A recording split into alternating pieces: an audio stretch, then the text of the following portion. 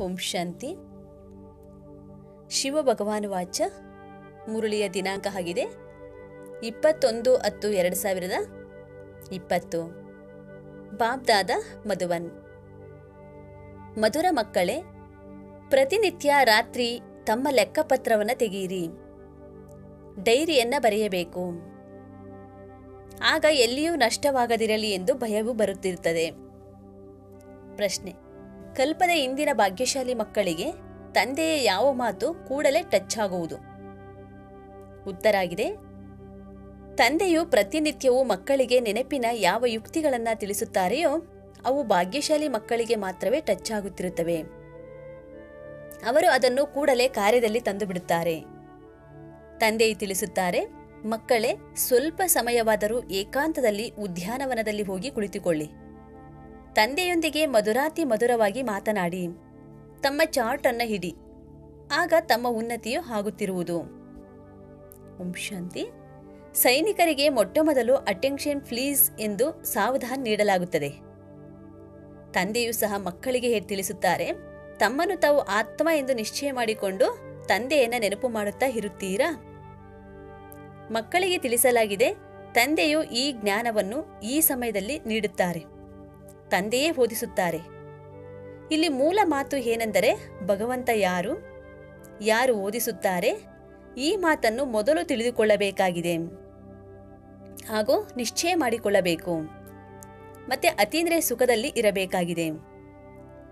ಆತ್ಮಕ್ಕೆ ಬಹಳ ಖುಷಿ ಇರಬೇಕು. ನಮಗೆ ಬೇಹದ್ದಿನ ತಂದೆಯು ಸಿಕ್ಕಿದ್ದಾರೆ.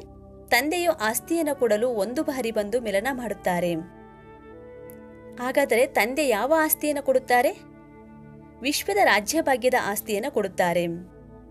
ಐದು ಸಾವಿರ ವರ್ಷಗಳ ಹಿಂದಿನ ತರಹ ಇದಂತೂ ಪಕ್ಕಾ ತಮಗೆ ನಿಶ್ಚಯವಿದೆ. ತಂದೆಯು ಪುನಃ ಬಂದಿದ್ದಾರೆ, ಪುನಃ ಸಹಜ ರಾಜಯೋಗವನ್ನು ಕಲಿಸುತ್ತಾರೆ, ಕಲಿಸಿಕೊಡಲೇಬೇಕಾಗುತ್ತದೆ. ಮಕ್ಕಳಿಗೇನು ಕಲಿಸಿಕೊಡಲಾಗುವುದಿಲ್ಲ. ಮಕ್ಕಳು ತಾವೇ ಬಾಯಿಂದ ಅಮ್ಮ, ಅಪ್ಪ ಎಂದು ಹೇಳತೊಡಗುತ್ತಾರೆ. ಏಕೆಂದರೆ ಶಬ್ದಗಳನ್ನು ಅನ್ಯರಿಂದ ಕೇಳಿಸಿಕೊಳ್ಳುತ್ತಾರಲ್ಲವೇ? ಇವರು ಆತ್ಮಿಕ ತಂದೆಯಾಗಿದ್ದಾರೆ. ಆತ್ಮಕ್ಕೆ ಆಂತರಿಕ ಗುಪ್ತ ನಶೆ ಇರುತ್ತದೆ. ಆತ್ಮನೇ ಓದಬೇಕಾಗುತ್ತದೆ. ಪರಮಪಿತ ಪರಮಾತ್ಮ ಅಂತೂ ಜ್ಞಾನಪೂರ್ಣ ಆಗಿದ್ದಾರೆ. ಅವರು ಏನನ್ನೂ ಓದಿಲ್ಲ. ಅವರಲ್ಲಿ ಜ್ಞಾನವು ಸದಾ ಇದ್ದೇ ಇರುತ್ತದೆ. ಯಾವುದರ ಜ್ಞಾನ? ಇದು ಸಹ ತಾವು ಆತ್ಮಗಳಿಗೆ ತಿಳಿದಿದೆ. ತಂದೆಯಲ್ಲಿ ಇಡೀ ಸೃಷ್ಟಿಯ ಆದಿ, ಮಧ್ಯ, ಅಂತ್ಯದ ಜ್ಞಾನವಿದೆ. ಹೇಗೆ ಒಂದು ಧರ್ಮದ ಸ್ಥಾಪನೆ ಅನೇಕ ಧರ್ಮಗಳ ವಿನಾಶವಾಗುತ್ತದೆ ಎಂಬ ಎಲ್ಲ ಜ್ಞಾನವು ತಂದೆ ತಿಳಿದುಕೊಂಡಿದ್ದಾರೆ. ಆದ್ದರಿಂದ ಅವರಿಗೆ ಎಲ್ಲವನ್ನೂ ಬಲ್ಲವರು ಎಂದು ಹೇಳಿಬಿಡುತ್ತಾರೆ. ಅಂದರೆ ಇದರ ಅರ್ಥವೇನೋ? ಇದನ್ನು ಯಾರೂ ತಿಳಿದುಕೊಂಡಿಲ್ಲ.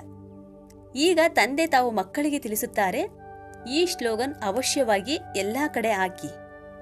ಮನುಷ್ಯರಾಗಿಯೂ ಒಂದು ವೇಳೆ ರಚಯಿತ ಮತ್ತು ರಚನೆಯ ಆದಿ, ಮಧ್ಯ, ಅಂತ್ಯದ ಕಾಲಾವಧಿಯ ಪುನರಾವರ್ತನೆಯನ್ನು ಅರಿತುಕೊಂಡಿಲ್ಲ ಎಂದರೆ ಅಂತಹವರಿಗೆ ಏನು ಹೇಳಲಾಗುವುದು? ಈ ಪುನರಾವರ್ತನೆ ಶಬ್ದವು ಬಹಳ ಅವಶ್ಯಕವಾಗಿದೆ. ಇದನ್ನು ಎಲ್ಲ ಕಡೆ ಬರೆದು ಹಾಕಿ. ಗೀತೆಯ ಭಗವಂತ ಯಾರು? ಈ ಚಿತ್ರವು ಬಹಳ ಸುಂದರವಾಗಿದೆ. ಇಡೀ ವಿಶ್ವದಲ್ಲಿ ಇದೇ ಎಲ್ಲದಕ್ಕಿಂತ ನಂಬರ್ ಒನ್ ತಪ್ಪಾಗಿದೆ. ಪರಮಪಿತ ಪರಮಾತ್ಮನನ್ನು ಅರಿತುಕೊಳ್ಳದೇ ಇರುವ ಕಾರಣ ಎಲ್ಲರೂ ಭಗವಂತನ ರೂಪ ಎಂದು ಹೇಳಿಬಿಡುತ್ತಾರೆ. ಹೇಗೆ ಚಿಕ್ಕ ಮಕ್ಕಳೊಂದಿಗೆ ನೀವು, ನೀನು ಯಾರ ಮಗನೆಂದು ಕೇಳಿದರೆ ಇಂತಹವರ ಮಗನೆಂದು ಹೇಳುವರು. ಅವರು ಯಾರ ಮಗನೆಂದು ಕೇಳಿದಾಗ ಕೊನೆಗೆ ಅವರು ನನ್ನ ಮಗ ಎಂದು ಹೇಳಿಬಿಡುತ್ತಾರೆ. ಹಾಗೆಯೇ ಇಲ್ಲಿಯೂ ಸಹ ಭಗವಂತನನ್ನು ಅರಿಯದೇ ಇರುವ ಕಾರಣ ನಾನೇ ಭಗವಂತ ಎಂದು ಹೇಳಿಬಿಡುತ್ತಾರೆ. ಇಷ್ಟು ಪೂಜೆ ಮಾಡುತ್ತಾರೆ, ಆದರೆ ಏನನ್ನೂ ತಿಳಿದುಕೊಂಡಿಲ್ಲ. ಗಾಯನವೂ ಇದೆ. ಬ್ರಹ್ಮನ ರಾತ್ರಿ ಎಂದ ಮೇಲೆ ಅವಶ್ಯವಾಗಿ ಅದು ಬ್ರಾಹ್ಮಣ ಬ್ರಾಹ್ಮಣಿಯರಿಗೂ ರಾತ್ರಿಯಾಗಿದೆ. ಇವೆಲ್ಲ ಧಾರಣೆ ಮಾಡಿಕೊಳ್ಳುವ ಮಾತುಗಳಾಗಿವೆ. ಯಾರು ಯೋಗದಲ್ಲಿರುತ್ತಾರೋ ಅವರಿಗೆ ಇದು ಧಾರಣೆಯಾಗುತ್ತದೆ. ನೆನಪಿಗೆ ಯೋಗ ಬಲ ಎಂದು ಹೇಳಲಾಗುತ್ತದೆ. ಜ್ಞಾನವಂತೂ ಆದಾಯದ ಮೂಲವಾಗಿದೆ. ಆದರೆ ತಂದೆಯ ನೆನಪಿನಿಂದಲೇ ತಾವು ಆತ್ಮಗಳಿಗೆ ಶಕ್ತಿ ಸಿಗುತ್ತದೆ. ಅದರಿಂದ ವಿಕರ್ಮಗಳು ವಿನಾಶವಾಗುತ್ತದೆ. ನೀವು ತಮ್ಮ ಬುದ್ಧಿಯೋಗವನ್ನು ತಂದೆಯ ಜೊತೆ ಜೋಡಿಸಬೇಕಾಗಿದೆ. ಈ ಜ್ಞಾನವನ್ನು ತಂದೆಯು ಈಗಲೇ ಕೊಡುತ್ತಾರೆ. ಈ ಜ್ಞಾನ ಮತ್ತೆ ಯಾವಾಗಲೂ ನಿಮಗೆ ಸಿಗುವುದಿಲ್ಲ. ತಂದೆಯ ವಿನಃ ಮತ್ಯಾರೂ ಕೊಡಲು ಸಾಧ್ಯವೂ ಇಲ್ಲ. ಉಳಿದೆಲ್ಲವೂ ಭಕ್ತಿ ಮಾರ್ಗದ ಶಾಸ್ತ್ರಗಳು ಹಾಗೂ ಕರ್ಮಕಾಂಡದ ಕ್ರಿಯೆಗಳಾಗಿವೆ. ಅದಕ್ಕೆ ಜ್ಞಾನ ಎಂದು ಹೇಳುವುದಿಲ್ಲ. ಆತ್ಮಿಕ ಜ್ಞಾನವು ಒಬ್ಬ ತಂದೆಯ ಬಳಿ ಮಾತ್ರವೇ ಸಿಗುತ್ತದೆ. ಅದನ್ನು ಅವರು ಬ್ರಾಹ್ಮಣರಿಗೆ ತಿಳಿಸುತ್ತಾರೆ. ಮತ್ಯಾರ ಬಳಿಯೂ ಈ ಆತ್ಮಿಕ ಜ್ಞಾನ ಇರುವುದಿಲ್ಲ. ಪ್ರಪಂಚದಲ್ಲಿ ಎಷ್ಟೊಂದು ಧರ್ಮಗಳು, ಮಠ ಪಂಥಗಳಿವೆ, ಎಷ್ಟೊಂದು ಮತಗಳಿವೆ, ತಾವೀಗ ಮಕ್ಕಳಿಗೆ ತಿಳಿಸುವುದರಲ್ಲಿ ಎಷ್ಟು ಪರಿಶ್ರಮವಾಗುತ್ತದೆ? ಎಷ್ಟೊಂದು ಬಿರುಗಾಳಿಗಳು ಬರುತ್ತಿರುತ್ತವೆ? ಹಂಬಿಗನೇ ನಮ್ಮ ದೋಣಿಯನ್ನು ತ, ಪಾರು ಮಾಡು ಎಂದು ಮಹಿಮೆ ಮಾಡುತ್ತಾರೆ. ಆದರೆ ಎಲ್ಲರ ದೋಣಿಯಂತೂ ಪಾರಾಗಲು ಸಾಧ್ಯವಿಲ್ಲ.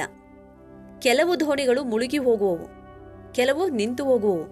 ಅಂದರೆ ಕೆಲವರು ಎರಡು ಮೂರು ವರ್ಷಗಳಾದರೂ ಅವರ ಬಗ್ಗೆ ಸಮಾಚಾರವೇ ತಿಳಿಯುವುದಿಲ್ಲ. ತಂದೆಯ ಬಳಿಗೆ ಬರುವುದೇ ಇಲ್ಲ. ಕೆಲವರಂತೂ ಅಲ್ಲಿಯೇ ನಿಂತು ಬಿಡುತ್ತಾರೆ. ಇನ್ನು ಕೆಲವು ದೋಣಿಗಳು, ಅಂದರೆ ಮಕ್ಕಳು, ಅಲ್ಲಿಯೇ ಪುಡಿಪುಡಿಯಾಗಿ ಬಿಡುತ್ತಾರೆ. ಇದರಲ್ಲಿ ಬಹಳ ಪರಿಶ್ರಮವಿದೆ. ಕೃತಕ ಯೋಗಗಳು ಎಷ್ಟೊಂದು ಬಂದು ಬಿಟ್ಟಿವೆ ಆ ಯೋಗಗಳಿಗೆ ಬಲಿಯಾಗಿ ಬಿಡುತ್ತಾರೆ ಎಷ್ಟೊಂದು ಯೋಗಾಶ್ರಮಗಳಿವೆ. ಆದರೆ ಆತ್ಮಿಕ ಯೋಗಾಶ್ರಮವು ಇದರ ವಿನಃ ಮತ್ಯಾವುದು ಇರಲು ಸಾಧ್ಯವಿಲ್ಲ. ತಂದೆಯೇ ಬಂದು ಆತ್ಮಗಳಿಗೆ ಆತ್ಮಿಕ ಯೋಗವನ್ನು ಕೊಡು- ಕಲಿಸಿಕೊಡುತ್ತಾರೆ. ತಂದೆಯೇ ತಿಳಿಸುತ್ತಾರೆ, ಮಕ್ಕಳೇ, ಇದು ಸಹಜವಾದ ರಾಜಯೋಗವಾಗಿದೆ. ಇದರಷ್ಟು ಸಹಜ ರಾಜಯೋಗ ಮತ್ಯಾವುದೂ ಇಲ್ಲ. ಇದು ಸಹಜ ಯೋಗ. ಆತ್ಮವೇ ಶರೀರದಲ್ಲಿ ಬಂದು ಪಾತ್ರವನ್ನು ಅಭಿನಯಿಸುತ್ತದೆ. ಗರಿಷ್ಠ ಎಂದರೆ ಎಂಬತ್ನಾಲ್ಕು ಜನ್ಮಗಳನ್ನು ತೆಗೆದುಕೊಳ್ಳುತ್ತದೆ. ಉಳಿದ ಎಲ್ಲರದು ಕಡಿಮೆ ಆಗುತ್ತಾ ಹೋಗುತ್ತದೆ. ಈ ಮಾತುಗಳು ಸಹ ತಾವು ಮಕ್ಕಳಲ್ಲಿ ಕೆಲವರ ಬುದ್ಧಿಯಲ್ಲಿ ಮಾತ್ರವೇ ಬರುತ್ತದೆ. ಬುದ್ಧಿಯಲ್ಲಿ ಧಾರಣೆಯಾಗುವುದು ಕಷ್ಟವಾಗುತ್ತದೆ. ಮೊಟ್ಟ ಮೊದಲನೆಯ ಮಾತನ್ನು ತಂದೆಯು ತಿಳಿಸಿಕೊಡುತ್ತಾರೆ, ಎಲ್ಲಿಗೆ ಹೋಗುತ್ತೀರಾ ಎಂದರೆ ಮೊಟ್ಟ ಮೊದಲಿಗೆ ತಂದೆಯ ಪರಿಚಯವನ್ನೇ ನೀಡಬೇಕು. ತಂದೆಯ ಪರಿಚಯ ಹೇಗೆ ಕೊಡುವುದು ಎಂಬುದಕ್ಕೆ ತಂದೆಯ ಯುಕ್ತಿಯನ್ನು ರಚಿಸಬೇಕು ಎಂದು ತಿಳಿಸುತ್ತಾರೆ. ತಂದೆಯ ಪರಿಚಯವನ್ನು ನೀಡಲು ಯುಕ್ತಿಯನ್ನು ರಚಿಸಬೇಕು. ಯಾವಾಗ ಈ ನಿಶ್ಚಯ ಆಗುವುದೋ ಆಗ ತಂದೆ ತಂದೆಯಂತೂ ಸತ್ಯವಾಗಿದ್ದಾರೆ. ಸತ್ಯ ಮಾತುಗಳನ್ನೇ ತಿಳಿಸುತ್ತಾರೆ ಎಂಬುದು ಅವರಿಗೆ ಅರ್ಥವಾಗುತ್ತದೆ. ಇದರಲ್ಲಿ ಸಂಶಯದಲ್ಲಿ ಬರಬಾರದು. ತಂದೆಯ ನೆನಪಿನಲ್ಲಿಯೇ ಪರಿಶ್ರಮವಿದೆ. ಇದರಲ್ಲಿ ಮಾಯೆಯು ವಿರೋಧವನ್ನು ಮಾಡುತ್ತದೆ. ಪದೇ ಪದೇ ನೆನಪನ್ನು ಮರೆಸುತ್ತಿರುತ್ತದೆ. ಆದ್ದರಿಂದ ತಂದೆಯು ತಿಳಿಸುತ್ತಾರೆ, ಮಕ್ಕಳೇ ಚಾರ್ಟ್ ಅನ್ನ ಬರೆಯಿರಿ.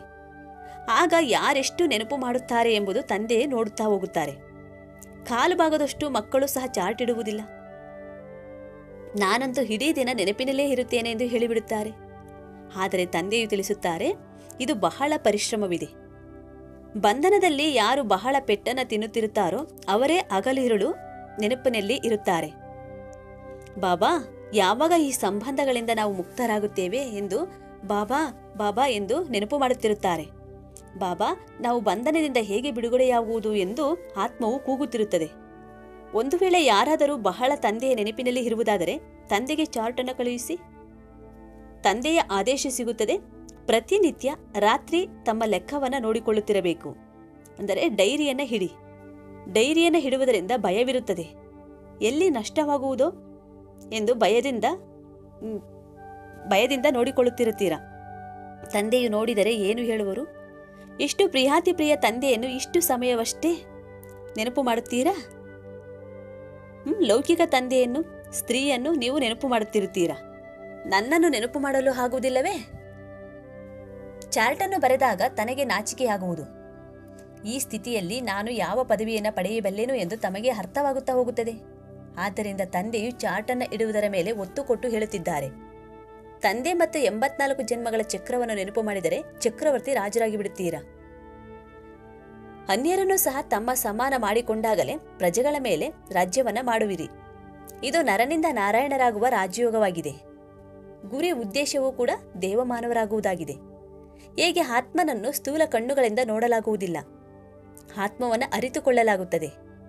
ಇವರಲ್ಲಿ ಆತ್ಮವಿದೆ ಎಂಬುದನ್ನು ಸಹ ತಿಳಿದುಕೊಳ್ಳಲಾಗುತ್ತದೆ. ಈ ಲಕ್ಷ್ಮೀನಾರಾಯಣರ ರಾಜಧಾನಿಯು ಅವಶ್ಯವಾಗಿ ಇರುವುದು. ಇವರು ಎಲ್ಲರಿಗಿಂತ ಹೆಚ್ಚು ಪರಿಶ್ರಮ ಪಟ್ಟಿದ್ದಾರೆ ಆದ್ದರಿಂದಲೇ ಇವರಿಗೆ ಸ್ಕಾಲರ್ಶಿಪ್ ಇವರು ಸ್ಕಾಲರ್ಶಿಪ್ ಅನ್ನು ಪಡೆದುಕೊಂಡಿದ್ದಾರೆ. ಅವಶ್ಯವಾಗಿ ಇವರಿಗೆ ಬಹಳ ಪ್ರಜೆಗಳಿರುತ್ತಾರೆ. ಶ್ರೇಷ್ಠಾತಿ ಶ್ರೇಷ್ಠ ಪದವಿಯನ್ನು ಪಡೆದಿದ್ದಾರೆ. ಅವಶ್ಯವಾಗಿ ಬಹಳ ಯೋಗವನ್ನು ಮಾಡಿದ್ದಾರೆ. ಆದ್ದರಿಂದಲೇ ಪಾಸ್ವಿತ್ತಾನರಾದರು. ಈ ಕಾರಣವನ್ನು ತೆಗೆಯಬೇಕು. ನಮಗೆ ಯೋಗವು ಏಕೆ ಈಡಿಸುತ್ತಿಲ್ಲ ಉದ್ಯೋಗ ವ್ಯವಹಾರಗಳ ಜಂಜಾಟದಲ್ಲಿ ಬುದ್ಧಿಯು ಬಹಳವಾಗಿ ಸಿಲುಕುತ್ತಿರುತ್ತದೆ. ಅದರಿಂದ ಸಮಯವನ್ನು ತೆಗೆದು ಇದರ ಕಡೆ ಹೆಚ್ಚು ಗಮನ ಕೊಡಬೇಕಾಗಿದೆ. ಸ್ವಲ್ಪ ಸಮಯವಾದರೂ ತೆಗೆದು ಉದ್ಯಾನವನದಲ್ಲಿ ಏಕಾಂತದಲ್ಲಿ ಕುಳಿತುಕೊಳ್ಳಿ. ಸ್ತ್ರೀಯರಂತೂ ಹೋಗಲು ಸಾಧ್ಯ ಆಗುವುದಿಲ್ಲ. ಅವರು ಮನೆ ಸಂಭಾಲನೆ ಮಾಡಬೇಕಾಗುತ್ತದೆ. ಪುರುಷರಿಗೆ ಇದು ಸಹಜವಾಗಿದೆ. ಕಲ್ಪದ ಹಿಂದಿನವರು ಯಾರು ಭಾಗ್ಯಶಾಲಿ ಮಕ್ಕಳಿರುತ್ತಾರೋ ಅವರಿಗೆ ಇದು ಪ್ರೇರಣೆಯಾಗುವುದು. ವಿದ್ಯೆಯು ಬಹಳ ಚೆನ್ನಾಗಿದೆ. ಆದರೆ ಪ್ರತಿಯೊಬ್ಬರ ಬುದ್ಧಿಯು ಬೇರೆ ಬೇರೆಯೇ ಆಗಿರುತ್ತದೆ. ಆದರೆ ಹೇಗಾದರೂ ಮಾಡಿ ತಂದೆಯಿಂದ ಆಸ್ತಿಯನ್ನು ಪಡೆಯಬೇಕಾಗಿದೆ. ತಂದೆಯು ಎಲ್ಲಾ ಸಲಹೆಗಳನ್ನು ಕೊಡುತ್ತಾರೆ. ಆದರೆ ಮಕ್ಕಳೇ ಆ ಸಲಹೆಯನ್ನು ಅನುಸರಣೆ ಮಾಡಬೇಕಲ್ಲವೇ? ತಂದೆಯು ಸಾಮಾನ್ಯವಾಗಿ ಆದೇಶ ನೀಡುತ್ತಾರೆ. ಒಬ್ಬೊಬ್ಬರು ವ್ಯಕ್ತಿಗತವಾಗಿ ಬಂದು ಕೇಳರೂ ಸಹ ತಂದೆಯು ಸಲಹೆ ಕೊಡುತ್ತಾರೆ. ತೀರ್ಥಯಾತ್ರೆಗಳಲ್ಲಿ ದೊಡ್ಡ ದೊಡ್ಡ ಪರ್ವತಗಳ ಮೇಲೆ ಹೋದಾಗ ಮಾರ್ಗದರ್ಶಕರು ಎಚ್ಚರಿಕೆಯನ್ನು ನೀಡುತ್ತಿರುತ್ತಾರೆ. ಬಹಳ ಪರಿಶ್ರಮದಿಂದ ಹೋಗುತ್ತಾರೆ. ತಾವು ಮಕ್ಕಳಿಗಂತೂ ತಂದೆಯು ಬಹಳ ಸಹಜವಾದ ಯುಕ್ತಿಗಳನ್ನು ತಿಳಿಸುತ್ತಾರೆ. ಇಲ್ಲಿ ತಂದೆಯನ್ನು ನೆನಪು ಮಾಡಬೇಕು. ದೇಹದ ಅಭಿಮಾನವನ್ನು ಕಳೆಯಬೇಕಾಗಿದೆ. ನನ್ನನ್ನು ನೆನಪು ಮಾಡಿ ಎಂದು ತಂದೆಯು ಇಲ್ಲಿ ತಿಳಿಸುತ್ತಾರೆ. ತಂದೆಯು ಬಂದು ಜ್ಞಾನವನ್ನು ಕೊಟ್ಟು ಹೊರಟು ಹೋಗುತ್ತಾರೆ. ಆತ್ಮದಂತಹ ತೀಕ್ಷ್ಣ ರಾಕೆಟ್ ಮತ್ಯಾವುದೂ ಇರಲು ಸಾಧ್ಯವಿಲ್ಲ. ಆ ವಿಜ್ಞಾನಿಗಳಂತೂ ಚಂದ್ರಗ್ರಹದವರೆಗೆ ಹೋಗುವುದರಲ್ಲಿ ಎಷ್ಟೊಂದು ಸಮಯ ವ್ಯರ್ಥ ಮಾಡುತ್ತಾರೆ. ಇದು ಸಹ ಡ್ರಾಮಾದಲ್ಲಿ ಫಿಕ್ಸ್ ಆಗಿದೆ. ಈ ವಿಜ್ಞಾನದ ಕಲೆಯು ಸಹ ವಿನಾಶದ ಸಮಯದಲ್ಲಿ ಸಹಯೋಗ ನೀಡುತ್ತದೆ. ಅದು ಸೈನ್ಸ್ ಆಗಿದೆ. ನಿಮ್ಮದು ಸೈಲೆನ್ಸ್ ಆಗಿದೆ. ತನ್ನನ್ನು ತಾನು ಆತ್ಮ ಎಂದು ತಿಳಿದು ತಂದೆಯನ್ನು ನೆನಪು ಮಾಡುವುದು ಡೆಡ್ ಸೈಲೆನ್ಸ್ ಆಗಿದೆ. ನಾನು ಆತ್ಮ, ಈ ದೇಹದಿಂದ ಭಿನ್ನವಾಗಿದ್ದೇನೆ. ಈ ದೇಹವು ಹಳೆಯ ಪಾದರಕ್ಷೆಯಾಗಿದೆ. ಸರ್ಪ ಹಾಗೂ ಆಮೆಯ ಉದಾಹರಣೆಯೂ ಸಹ ನಿಮಗೋಸ್ಕರವಾಗಿಯೇ ತೋರಿಸಲಾಗಿದೆ. ಕೀಟಗಳಂತಹ ಮನುಷ್ಯರಿಗೆ ನೀವೇ ಜ್ಞಾನದ ಬೂಬು ಮಾಡಿ ಮನುಷ್ಯರಿಂದ ದೇವತೆಗಳನ್ನಾಗಿ ಮಾಡುತ್ತೀರಾ? ವಿಷಯ ಸಾಗರದಿಂದ ಕ್ಷೀರಸಾಗರದೆಡೆಗೆ ಕರೆದುಕೊಂಡು ಹೋಗುವುದು ನಿಮ್ಮ ಕರ್ತವ್ಯವಾಗಿದೆ. ಸನ್ಯಾಸಿಗಳು, ಈ ಯಜ್ಞ, ತಪ ಇತ್ಯಾದಿಗಳೇನನ್ನೂ ಮಾಡುವಂತಿಲ್ಲ. ಭಕ್ತಿ ಮತ್ತು ಜ್ಞಾನ ಇರುವುದೇ ಗೃಹಸ್ಥಿಗಳಿಗೋ, ಗೃಹಸ್ಥಿಗಳಿಗೋಸ್ಕರ. ಸನ್ಯಾಸಿಗಳಂತೂ ಸತ್ಯುಗದಲ್ಲಿ ಬರುವುದೇ ಇಲ್ಲ ಎಂದ ಮೇಲೆ ಈ ಮಾತುಗಳು ಅವರಿಗೇನು ಗೊತ್ತು? ಈ ನಿವೃತ್ತಿ ಮಾರ್ಗದವರದು ಸಹ ಡ್ರಾಮಾದಲ್ಲಿ ನಿಗದಿಯಾಗಿದೆ. ಯಾರು ಪೂರ್ಣ ಎಂಬತ್ನಾಲ್ಕು ಜನ್ಮಗಳನ್ನು ತೆಗೆದುಕೊಂಡಿದ್ದಾರೆಯೋ ಅವರೇ ಡ್ರಾಮಾನುಸಾರವಾಗಿ ಬರತೊಡಗುತ್ತಾರೆ. ಇದರಲ್ಲಿಯೂ ಕೂಡ ನಂಬರ್ ವಾರ್ ಆಗಿ ಉಳಿಯುತ್ತಾರೆ. ಮಾಯಿಯು ಬಹಳ ಪ್ರಬಲವಾಗಿದೆ. ದೃಷ್ಟಿಯು ವಿಕಾರಿಯಾಗಿದೆ. ಜ್ಞಾನದ ಮೂರನೇ ನೇತ್ರವು ಸಿಗುವುದರಿಂದ ದೃಷ್ಟಿಯು ನಿರ್ವಿಕಾರಿಯಾಗುತ್ತದೆ. ಮತ್ತೆ ಅರ್ಧ ಕಲ್ಪದವರೆಗೆ ಎಂದೂ ವಿಕಾರಿಯಾಗುವುದಿಲ್ಲ. ಈ ಕಣ್ಣುಗಳು ಮೋಸಗಾರಾಗಿವೆ. ಎಷ್ಟು ನೀವು ತಂದೆಯನ್ನ ನೆನಪು ಮಾಡುತ್ತೀರೋ ಅಷ್ಟು ಕರ್ಮೇಂದ್ರಗಳು ಶೀತಲ ಆಗುತ್ತವೆ ನಂತರ ಇಪ್ಪತ್ತೊಂದು ಜನ್ಮಗಳವರೆಗೆ ಈ ಕರ್ಮೇಂದ್ರಗಳು ಚಂಚಲತೆಯಲ್ಲಿ ಬರುವುದಿಲ್ಲ. ಸತ್ಯುಗದಲ್ಲಿ ಕರ್ಮೇಂದ್ರಗಳು ಚಂಚಲತೆಯಲ್ಲಿ ಬರುವುದಿಲ್ಲ. ಎಲ್ಲಾ ಕರ್ಮೇಂದ್ರಗಳು ಶಾಂತ ಸತೋಗುಣಿಯಾಗಿರುತ್ತವೆ ದೇಹದ ಅಭಿಮಾನದ ನಂತರವೇ ಎಲ್ಲಾ ವಿಕಾರಗಳು ಹುಟ್ಟಿಬರುತ್ತವೆ. ತಂದೆಯು ನಿಮ್ಮನ್ನು ಆತ್ಮಾಭಿಮಾನಿಗಳನ್ನಾಗಿ ಮಾಡುತ್ತಾರೆ. ನಿಮಗೆ ಅರ್ಧಕಲ್ಪಕ್ಕಾಗಿ ಆಸ್ತಿಯು ಸಿಗುತ್ತಾ ಇದೆ. ಯಾರೆಷ್ಟು ಪರಿಶ್ರಮ ಪಡುತ್ತಾರೋ ಅಷ್ಟು ಶ್ರೇಷ್ಠ ಪದವಿಯನ್ನು ಪಡೆಯುತ್ತೀರಾ. ಈಗ ಆತ್ಮಾಭಿಮಾನಿಗಳಾಗುವ ಪರಿಶ್ರಮ ಪಡಬೇಕಾಗಿದೆ. ನಂತರ ಕರ್ಮೇಂದ್ರಿಯಗಳು ಮೋಸ ಮಾಡುವುದಿಲ್ಲ. ಅಂತ್ಯದವರೆಗೆ ಯುದ್ಧ ನಡೆಯುತ್ತಾ ಇರುತ್ತದೆ. ಯಾವಾಗ ಕರ್ಮಾತೀತ ಸ್ಥಿತಿಯನ್ನು ಪಡೆಯುತ್ತೀರೋ ಆಗ ಯುದ್ಧವು ಪ್ರಾರಂಭವಾಗುವುದು. ದಿನ ಪ್ರತಿದಿನ ಸದ್ದುಗದ್ದಲವು ಹೆಚ್ಚುತ್ತಾ ಹೋಗುವುದು. ಮೃತ್ಯುವಿಗೆ ಎದುರು, ಎದುರಿಕೊಳ್ಳುತ್ತಾರೆ. ತಂದೆಯು ತಿಳಿಸುತ್ತಾರೆ, ಈ ಜ್ಞಾನವು ಎಲ್ಲರಿಗೋಸ್ಕರವಾಗಿಯೇ ಇದೆ. ಕೇವಲ ತಂದೆಯ ಪರಿಚಯವನ್ನು ಎಲ್ಲರಿಗೂ ಕೊಡಬೇಕು. ನಾವೆಲ್ಲ ಆತ್ಮಗಳು ಸಹೋದರ ಸಹೋದರರಾಗಿದ್ದೇವೆ. ಎಲ್ಲರೂ ಒಬ್ಬ ತಂದೆಯನ್ನು ನೆನಪು ಮಾಡುತ್ತಾರೆ. ಗಾಡ್ ಫಾದರ್ ಎಂದು ಹೇಳುತ್ತಾರೆ. ಬಲೆ ಕೆಲವರು ಪ್ರಕೃತಿಯನ್ನು ಪೂಜಿಸುವಂತವರು ಕೂಡ ಇರುತ್ತಾರೆ. ಆದರೆ ಭಗವಂತ ಅಂತೂ ಇದ್ದಾರಲ್ಲವೇ? ಅವರನ್ನು ಮುಕ್ತಿ ಜೀವನ್ಮುಕ್ತಿಗಾಗಿ ನೆನಪು ಮಾಡುತ್ತಾರೆ. ಮೋಕ್ಷವಂತೂ ಯಾರಿಗೂ ಇಲ್ಲ.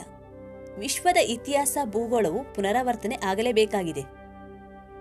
ಬುದ್ಧಿಯು ಸಹ ಹೇಳುತ್ತದೆ, ಯಾವಾಗ ಸತ್ಯಯುಗ ಇತ್ತೋ ಆಗ ಭಾರತದಲ್ಲಿ ಒಂದೇ ಧರ್ಮ ಇತ್ತು.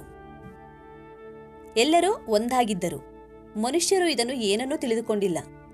ಈ ಲಕ್ಷ್ಮೀನಾರಾಯಣರ ರಾಜ್ಯ ಇತ್ತಲ್ಲವೇ? ಲಕ್ಷಾಂತರ ವರ್ಷಗಳ ಮಾತಿರಲು ಸಾಧ್ಯವಿಲ್ಲ. ಲಕ್ಷಾಂತರ ವರ್ಷಗಳಿರುವುದಾದರೆ ಇನ್ನೆಷ್ಟು ಜನಸಂಖ್ಯೆ ಆಗಬಹುದು ಯೋಚಿಸಿ?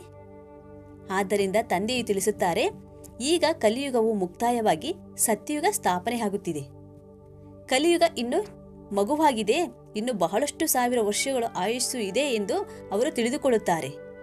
ಆದರೆ ತಾವು ಮಕ್ಕಳಿಗೆ ತಿಳಿದಿದೆ, ಈ ಕಲ್ಪ ಕೇವಲ ಐದು ಸಾವಿರ ವರ್ಷಗಳದಾಗಿದೆ ಭಾರತದಲ್ಲಿಯೇ ಇದು ಸ್ಥಾಪನೆ ಆಗುತ್ತಿದೆ. ಭಾರತವೇ ಈಗ ಸ್ವರ್ಗವಾಗುತ್ತಿದೆ. ನಾವೀಗ ತಂದೆಯ ಶ್ರೀಮತದಂತೆ ಈ ರಾಜ್ಯವನ್ನು ಸ್ಥಾಪನೆ ಮಾಡುತ್ತಿದ್ದೇವೆ. ತಂದೆಯು ತಿಳಿಸುತ್ತಾರೆ, ಮಕ್ಕಳೇ, ನಾನೊಬ್ಬನನ್ನೇ ನೆನಪು ಮಾಡಿ. ಮೊಟ್ಟ ಮೊದಲ ಶಬ್ದ ಇದೇ ಎಲ್ಲರಿಗೂ ತಿಳಿಸಬೇಕಾಗಿದೆ. ತನ್ನ ತಂದೆಯನ್ನು ನೆನಪು ಮಾಡಿ ಎಂದು. ಎಲ್ಲಿಯವರೆಗೆ ತಂದೆಯ ಪ್ರತಿ ನಿಶ್ಚಯ ಬರುವುದಿಲ್ಲ, ಅಲ್ಲಿಯವರೆಗೆ ಪ್ರಶ್ನೆ ಮಾಡುತ್ತಲೇ ಇರುತ್ತಾರೆ. ಮತ್ಯಾವುದೇ ಮಾತಿನ ಉತ್ತರ ಸಿಗಲಿಲ್ಲ ಎಂದರೆ ಇವರಿಗೇನೂ ಗೊತ್ತಿಲ್ಲ ಎಂದು ತಿಳಿದುಕೊಳ್ಳುತ್ತಾರೆ ಆದರೆ ನಮಗೆ ಭಗವಂತನೇ ಓದಿಸುವರು ಎಂದು ಹೇಳುತ್ತಾರೆ ಎಂದು ತಿಳಿದುಕೊಳ್ಳುತ್ತಾರೆ. ಆದ್ದರಿಂದ ಮೊಟ್ಟ ಮೊದಲನೇದಾಗಿ ಒಂದೇ ಮಾತಿನಲ್ಲಿ ನಿಶ್, ನಿಲ್ಲಿಸಿ, ಮೊದಲಿಗೆ ಎಲ್ಲ ಆತ್ಮಗಳ ತಂದೆಯು ಒಬ್ಬರೇ ಆಗಿದ್ದಾರೆ. ಅವರು ರಚಯಿತ ಆಗಿದ್ದಾರೆ. ಅವಶ್ಯವಾಗಿ ಸಂಗಮೇಗದಲ್ಲಿ ಬರುತ್ತಾರೆ ಎಂಬುದು ಅವರಿಗೆ ನಿಶ್ಚಯವಾಗಬೇಕು. ತಂದೆಯು ತಿಳಿಸುತ್ತಾರೆ, ನಾನು ಯುಗ ಯುಗದಲ್ಲಿ ಬರುವುದಿಲ್ಲ. ಕಲ್ಪದ ಸಂಗಮೇಗದಲ್ಲಿ ಮಾತ್ರ ಬರುತ್ತೇನೆ. ನಾನು ಹೊಸ ಸೃಷ್ಟಿಯ ರಚಯಿತ ಆಗಿದ್ದೇನೆ ಅಂದ ಮೇಲೆ, ಮಧ್ಯದಲ್ಲಿ ಹೇಗೆ ಬರುವೆನು? ಹಳೆಯ ಮತ್ತು ಹೊಸ ಪ್ರಪಂಚದ ಮಧ್ಯದಲ್ಲಿಯೇ ನಾನು ಬರುತ್ತೇನೆ. ಇದಕ್ಕೆ ಪುರುಷೋತ್ತಮ ಸಂಗಮಯುಗ ಎಂದು ಹೇಳಲಾಗುತ್ತದೆ. ನೀವು ಇಲ್ಲಿಯೇ ಪುರುಷೋತ್ತಮರಾಗುತ್ತೀರಾ? ಲಕ್ಷ್ಮೀನಾರಾಯಣರು ಎಲ್ಲರಿಗಿಂತ ಪುರುಷೋತ್ತಮರಾಗಿದ್ದಾರೆ. ಗುರಿ ಉದ್ದೇಶವು ಎಷ್ಟು ಸಹಜವಾಗಿದೆ? ಎಲ್ಲರಿಗೂ ಇದನ್ನು ತಿಳಿಸಿ. ಈಗ ಸತ್ಯಯುಗ ಸ್ಥಾಪನೆ ಆಗುತ್ತಿದೆ ಎಂದು ಎಲ್ಲರಿಗೂ ತಿಳಿಸಿ. ತಂದೆಯು ಹೇಳುತ್ತಾರೆ, ಪುರುಷೋತ್ತಮ ಶಬ್ದವನ್ನು ಅವಶ್ಯವಾಗಿ ಬರೆಯಿರಿ. ಏಕೆಂದರೆ ನೀವಿಲ್ಲಿ ಕನಿಷ್ಠರಿಂದ ಪುರುಷೋತ್ತಮರಾಗುತ್ತಿದ್ದೀರಾ. ಇಂತಹ ಮುಖ್ಯ ಮಾತುಗಳನ್ನು ಮರೆಯಬಾರದು. ಮತ್ತು ಸಂವತ್ಸರದ ದಿನಗಳನ್ನು, ದಿನಾಂಕಗಳನ್ನು ಅವಶ್ಯವಾಗಿ ಬರೆಯಬೇಕು. ಇಲ್ಲಿ ನಿಮ್ಮದು ಮೊದಲಿನಿಂದ ರಾಜಧಾನಿ ಆರಂಭವಾಗುತ್ತದೆ. ಅನ್ಯರ ರಾಜ್ಯಭಾರವು ಮೊದಲಿನಿಂದಲೇ ನಡೆಯುವುದಿಲ್ಲ. ಅವರು ಧರ್ಮಸ್ಥಾಪಕರು ಬಂದಾಗ ಅವರ ಹಿಂದೆ ಆ ಧರ್ಮ ವೃದ್ಧಿಯಾಗುತ್ತದೆ. ಅಂದರೆ ಕೋಟ್ಯಾಂತರ ಅಂದಾಜಿನಲ್ಲಿ ಆ ಧರ್ಮದವರ ವೃದ್ಧಿಯಾದಾಗ ರಾಜ್ಯಭಾರ ನಡೆಯುವುದು. ಆದರೆ ನಿಮ್ಮದು ಸತ್ಯಯುಗದಿಂದಲೇ ಆರಂಭವಾಗುತ್ತದೆ. ನಿಮ್ಮದು ಸತ್ಯಯುಗದಿಂದಲೇ ರಾಜ್ಯಭಾರ ನಡೆಯುತ್ತಾ ಬರುತ್ತದೆ. ಸತ್ಯಯುಗದಲ್ಲಿ ಇಷ್ಟು ರಾಜಧಾನಿ ಎಲ್ಲಿಂದ ಬಂದಿತು ಎಂದು ಯಾರ ಬುದ್ಧಿಯಲ್ಲಿಯೂ ಬರುವುದಿಲ್ಲ. ಕಲಿಯುಗದ ಅಂತಿಮದಲ್ಲಿ ಇಷ್ಟೊಂದು ಧರ್ಮಗಳಿವೆ. ಮತ್ತೆ ಸತ್ಯಯುಗದಲ್ಲಿ ಒಂದೇ ಧರ್ಮವಿರುತ್ತದೆ. ಒಂದು ರಾಜ್ಯ ಹೇಗಾಯಿತು ಎನ್, ಎಷ್ಟೊಂದು ವಜ್ರ ರತ್ನಗಳಿಂದ ಮಹಲುಗಳನ್ನು ಮಾಡಲ್ಪಟ್ಟಿರ, ಮಾಡಲಾಗಿರುತ್ತದೆ. ಭಾರತ ವಜ್ರ ಮಹಲುಗಳಿಂದ ಕೂಡಿತ್ತು. ಅದಕ್ಕೆ ಸ್ವರ್ಗ ಎಂದು ಹೇಳುತ್ತಿದ್ದರು. ಇದು ಐದು ಸಾವಿರ ವರ್ಷಗಳ ಮಾತಾಗಿದೆ. ಲಕ್ಷಾಂತರ ವರ್ಷಗಳ ಲೆಕ್ಕ ಎಲ್ಲಿಂದ ಬಂದಿತು? ಮನುಷ್ಯರು ಎಷ್ಟೊಂದು ಗೊಂದಲಕ್ಕೊಳಗಾಗಿದ್ದಾರೆ. ಈಗ ಅವರಿಗೆ ತಿಳಿಸುವವರು ಯಾರು? ನಾವು ಅಸುರಿ ರಾಜ್ಯದಲ್ಲಿದ್ದೇವೆ ಎಂಬುದು ಅವರಿಗೆ ಅರ್ಥವಾಗುತ್ತದೆಯೇ? ದೇವಿ ದೇವತೆಗಳ ಮಹಿಮೆಯನ್ನು ಮಾಡುತ್ತಿರುತ್ತಾರೆ. ಸರ್ವಗುಣ ಸಂಪನ್ನರು. ಇವರಲ್ಲಿ ಪಂಚವಿಕಾರಗಳು ಇರುವುದಿಲ್ಲ. ಏಕೆಂದರೆ ದೇಹಿ ಅಭಿಮಾನಿ ಆಗಿದ್ದಾರೆ ಅಂದಾಗ ತಂದೆಯು ತಿಳಿಸುತ್ತಾರೆ, ಮುಖ್ಯ ಮಾತು ನೆನಪಿನದೇ ಆಗಿದೆ. ಎಂಬತ್ನಾಲ್ಕು ಜನ್ಮಗಳನ್ನು ತೆಗೆದುಕೊಳ್ಳುತ್ತಾ ತೆಗೆದುಕೊಳ್ಳುತ್ತಾ ನೀವೀಗ ಪತಿತರಾಗಿದ್ದೀರಾ? ಈಗ ಮತ್ತೆ ಪವಿತ್ರರಾಗಬೇಕಾಗಿದೆ. ಇದು ಡ್ರಾಮದ ಚಕ್ರವಾಗಿದೆ. ಒಳ್ಳೆಯದು. ಮಧುರಾತಿ ಮಧುರ ಅಗಲಿ ಹೋಗಿ ಮರಳಿ ಸಿಕ್ಕಿರುವ ಮಕ್ಕಳ ಪ್ರತಿ ಮಾತಾಪಿತಾ ಬಾಬ್ದಾದರವರ ನೆನಪು, ಪ್ರೀತಿ ಹಾಗೂ ಸುಪ್ರಭಾತ. ಆತ್ಮಿಕ ಮಕ್ಕಳಿಗೆ ಆತ್ಮಿಕ ತಂದೆಯ ನಮಸ್ತೆ. ಆತ್ಮಿಕ ತಂದೆಗೆ ಆತ್ಮಕ, ಆತ್ಮಿಕ ಮಕ್ಕಳ ಕಡೆಯಿಂದ ನೆನಪು, ಪ್ರೀತಿ ಹಾಗೂ ಸುಪ್ರಭಾತದೊಂದಿಗೆ ನಮಸ್ತೆ ನಮಸ್ತೆ ನಮಸ್ತೆ. ಧಾರಣೆಗಾಗಿ ಮುಖ್ಯ ಸಾರಾಗಿದೆ ಮೊದಲನೇ ಪಾಯಿಂಟ್ಸು. ಜ್ಞಾನದಿಂದ ಮೂರನೇ ನೇತ್ರವನ್ನು ಧಾರಣೆ ಮಾಡಿಕೊಂಡು ತಮ್ಮ ಮೋಸಗಾರ ಕಣ್ಣುಗಳನ್ನು ನಿರ್ವಿಕಾರಿಗಳನ್ನಾಗಿ ಮಾಡಿಕೊಳ್ಳಬೇಕಾಗಿದೆ. ತಂದೆಯ ನೆನಪಿನಿಂದಲೇ ಕರ್ಮೇಂದ್ರಿಯಗಳು ಶೀತಲ ಸತ್ತೋಗುಣಿ ಆಗುತ್ತವೆ. ಆದ್ದರಿಂದ ಈ ಒಂದು ಪರಿಶ್ರಮವನ್ನು ಪಡಬೇಕಾಗಿದೆ. ಎರಡನೇ ಪಾಯಿಂಟ್ಸ್ ಉದ್ಯೋಗ ವ್ಯವಹಾರಗಳಿಂದ ಸ, ಉದ್ಯೋಗ ವ್ಯವಹಾರಗಳನ್ನು ಮಾಡುತ್ತಿದ್ದರೂ ಕೂಡ ಮಧ್ಯ ಮಧ್ಯದಲ್ಲಿ ಸಮಯವನ್ನು ತೆಗೆದುಕೊಂಡು ಏಕಾಂತದಲ್ಲಿ ತಂದೆಯ ನೆನಪಿನಲ್ಲಿ ಕುಳಿತುಕೊಳ್ಳಬೇಕು. ನಮಗೆ ಯೋಗವು ಏಕೆ ಇಳಿಸುತ್ತಿಲ್ಲ ಎಂಬ ಕಾರಣವನ್ನು ನೋಡಿಕೊಳ್ಳುತ್ತಾ ಇರಿ. ಚಾರ್ಟನ್ನು ಅವಶ್ಯವಾಗಿ ಬರೆಯಬೇಕು. ವರದಾನ ಆಗಿದೆ ನಿರ್ಣಯ ಶಕ್ತಿ ಮತ್ತು ನಿಯಂತ್ರಣ ಶಕ್ತಿಯ ಮೂಲಕ ಸದಾ ಸಫಲತಾ ಮೂರ್ತಿಗಳಾಗಿ. ವಿಶ್ಲೇಷಣೆಯಾಗಿದೆ.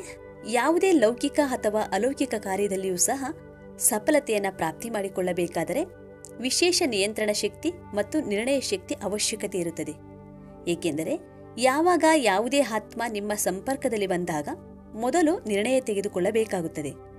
ಇವರಿಗೆ ಯಾವ ವಸ್ತುವಿನ ಅವಶ್ಯಕತೆ ಇದೆ? ನಾಡಿಯ ಮೂಲಕ ತಿಳಿದುಕೊಂಡು ಅವರ ಇಚ್ಛೆಯ ಪ್ರಮಾಣ, ಅವರನ್ನು ತೃಪ್ತಿ ಮಾಡುವುದು ಮತ್ತು ಸ್ವಯಂನ ನಿಯಂತ್ರಣ ಶಕ್ತಿಯಿಂದ ಬೇರೆಯವರ ಮೇಲೆ ತಮ್ಮ ಅಚಲ ಸ್ಥಿತಿಯ ಪ್ರಭಾವ ಬೀರುವುದು. ಈ ಎರಡೂ ಶಕ್ತಿಗಳು ಸೇವೆಯ ಕ್ಷೇತ್ರದಲ್ಲಿ ಸಫಲತಾ ಮೂರ್ತಿಗಳನ್ನಾಗಿ ಮಾಡಿಬಿಡುತ್ತದೆ. ಶ್ಲೋಗನ್. ಸರ್ವಶಕ್ತಿವಂತ ತಂದೆಯನ್ನು ತಮ್ಮ ಜೊತೆಗಾರನನ್ನಾಗಿ ಮಾಡಿಕೊಂಡಾಗ ಮಾಯೆ ಎಂಬ ಕಾಗದ, ಮಾಯೆ ಕಾಗದದ ಹುಲಿಯಾಗಿ ಬಿಡುತ್ತದೆ. ಸರ್ವಶಕ್ತಿವಂತ ತಂದೆಯನ್ನೇ ಜೊತೆಗಾರರನ್ನಾಗಿ ಮಾಡಿಕೊಂಡಾಗ ಮಾಯೆ ಕಾಗದ ಹುಲಿಯಾಗಿ ಬಿಡುವುದು. ಚ ಓಂ ಶಾಂತಿ.